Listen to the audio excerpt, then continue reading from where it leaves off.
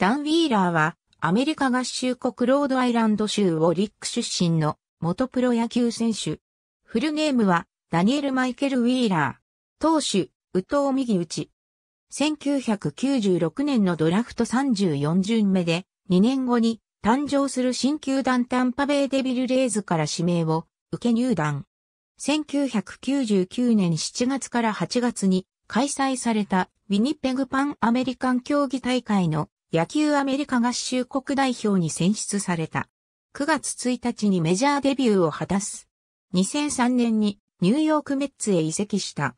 2004年にマイナー選手とのトレードでヒューストンアストロズへ移籍した。2005年にリリーフとして71試合に登板。17ホールド、防御率2.21を記録する活躍で、ブルペン陣を支え、抑えのブラッドリッチが、不調の時には代役も務めた。2006年開幕前の3月に開催された第1回ワールドベースボールクラシックのアメリカ合衆国代表に選出された。2007年は45試合で1勝4敗、防御率5.07と不調に陥った。タンパベイレーズ時代2007年7月28日にタイウィギントンとのトレードでフルスデビルレーズに放出された。デビルレイズにとって弱点だったブルペン陣の強化に成功し、ジョー・マドン監督に8月にダニーが戻ってきた時から全ては始まったと高く評価された。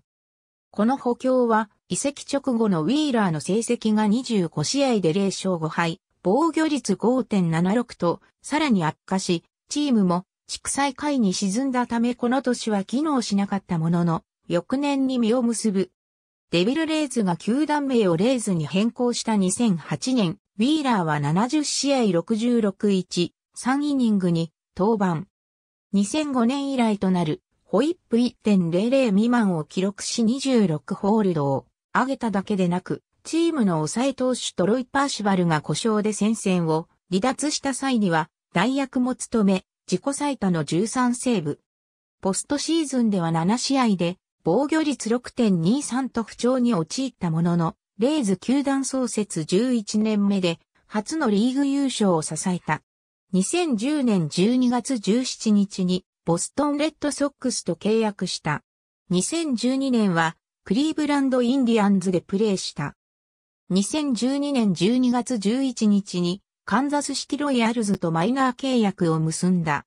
2013年はメジャーに昇格することなくシーズン中に退団した。2014年1月に現役引退を表明した。ありがとうございます。